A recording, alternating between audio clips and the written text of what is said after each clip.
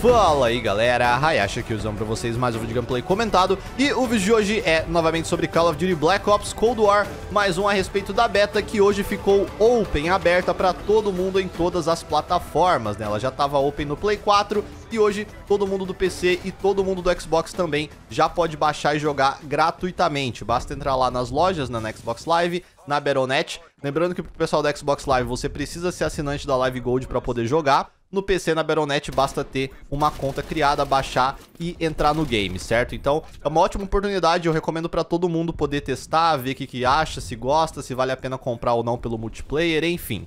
E uma coisa muito bacana que a gente descobriu hoje é que a beta foi estendida, tá? Então ela vai durar agora até terça-feira, às 2 horas da tarde.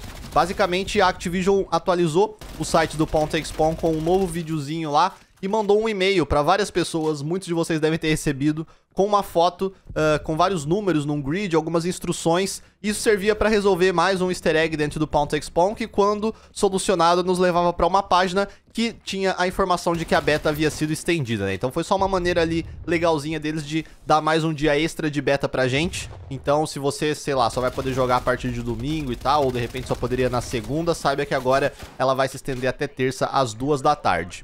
Aliás, aproveitando, cara, muita gente tem me mandado mensagem nas últimas semanas que tem recebido no correio uma carta do Pound Spawn com o mapa e umas informações lá pra colocar no site. Isso tudo já foi há muito tempo no easter egg, gente. Eu recebo mensagem literalmente todos os dias no Instagram, no Twitter, nos comentários do YouTube, de gente que recebeu essas cartas. Provavelmente não viram o meu vídeo na época, mas isso aí já foi utilizado no easter egg há mais de um mês atrás. Foi pra pegar aquela skin de veículo no Warzone. É só que chegou bem atrasado pra gente aqui no Brasil. Eu nem achei que eles fossem mandar pra cá. Legal que mandaram, mas já não serve pra mais nada. Então se você receber, guarde de recordação. E eu também tô ligado que tá rolando aí uma parada no COD Mobile, um easter egg por lá também que envolve o ponto. Talvez eu traga um vídeo depois explicando melhor pra vocês, ok? Mas voltando para beta, vamos falar sobre ela. Porque ontem tivemos um update que saiu depois que o meu vídeo já tinha sido publicado, que trouxe algumas modificações e hoje também um novo update trouxe mais algumas modificações e é sobre elas que eu vou falar aqui nessa parte do vídeo agora, certo? No dia de ontem, eles mexeram nos score streaks, tá? Eles deram uma ajustada ali no sistema como um todo. Basicamente, eles arrumaram um pouco os valores de score tanto para o Domination quanto para o TDM, né, que é o mata-mata em equipe. Eles acharam que estava muito fácil pegar os score streaks no Domination e no TDM estava um pouco mais difícil, então eles deram uma ajustada nos valores.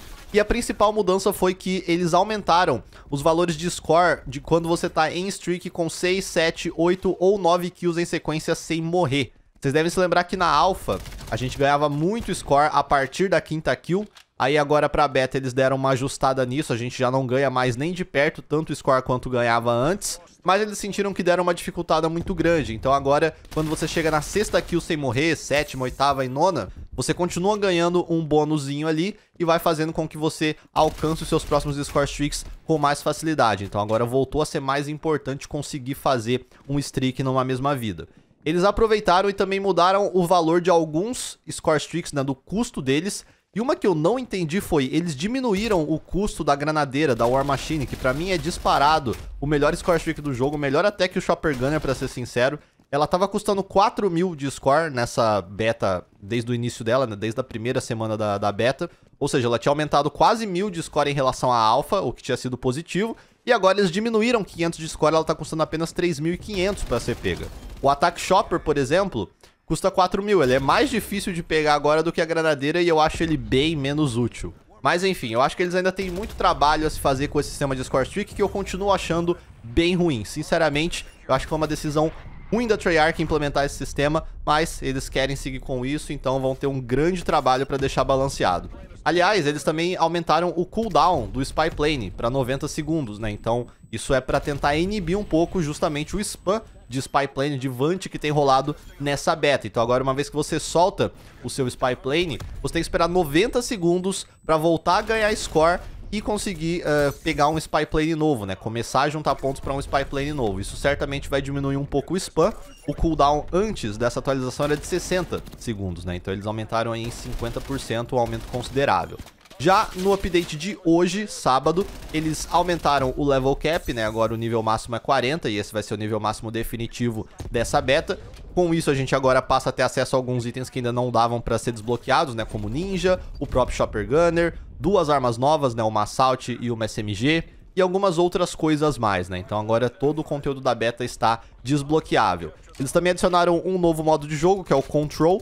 Esse já existia no Black Ops 4, quem jogou vai se lembrar. É um modo de rounds, né, onde um time ataca e o outro defende. Tem duas áreas no mapa que precisam ser capturadas e existe também o um limite de vidas por time dentro de cada round, né? Vocês têm 30 vidas cada, então você vence ou capturando os pontos, né, ou defendendo eles, caso você seja do time de defesa, ou acabando com todas as vidas do time adversário. E para finalizar, no modo Fire Team, eles fizeram três pequenos ajustes. O primeiro, e acho que é muito válido, é que eles diminuíram as chances de você entrar em uma partida em andamento, né? O que é ótimo, porque era bem frustrante você procurar pro Fireteam e quase sempre cair no meio de uma partida que já começou. Eles também reduziram a frequência de spawn do helicóptero, né? Muita gente tem achado o helicóptero super OP, então agora ele spawna um pouco menos. E também reduziram as chances de dropar a War Machine e os helicópteros de ataque nas caixinhas que a gente luteia pelo mapa, né? Elas dão score streaks, esses dois em específico agora vêm um pouco menos. De resto, a beta permanece igual, nenhuma outra grande mudança. E eu queria aproveitar o finalzinho desse vídeo para dar uma dica para o pessoal de PC que de repente está tendo alguns problemas de performance. Tem uma manha que tá rolando aí que aparenta tá funcionando para muita gente, em especial pra galera que tem tido muito drop de FPS aleatório. Você vai fazer o seguinte, você vai na pasta de documentos do seu computador, vai procurar pela pasta do Call of Duty Black Ops Cold War, que foi criada lá, clica nela, depois você entra em Player Beta, e lá dentro vão ter vários arquivos. Você vai abrir o arquivo chamado config.ini. É um arquivo que dá para você abrir com bloco de notas, né, ou com Notepad+, etc. Você vai descer até o final dele, e na antepenúltima opção, onde vai estar tá falando ali alguma coisa sobre Video Memory, provavelmente o valor que vai estar tá entre parênteses vai ser 0.8, 0.9, alguma coisa assim. Muita gente tem conseguido melhorar a performance do jogo diminuindo esse valor para 0.65. Alguns diminuem para 0.6, 0.55, mas parece que o valor mais ali sweet spot é o 0.65. Então, faça isso, salve o arquivo e abra o seu jogo, veja se isso melhora os problemas de queda de FPS, de stuttering e etc. Eu não vinha tendo tantos problemas assim, mas eu fiz essa mudança e eu notei que meu FPS melhorou. E eu vi muita gente que tava tendo problemas de queda mesmo, de FPS brusca de jogo, até dar umas travadas e ter trocado isso aí ter conseguido pelo menos deixar o jogo jogável. Então se você é uma dessas pessoas, fica a dica.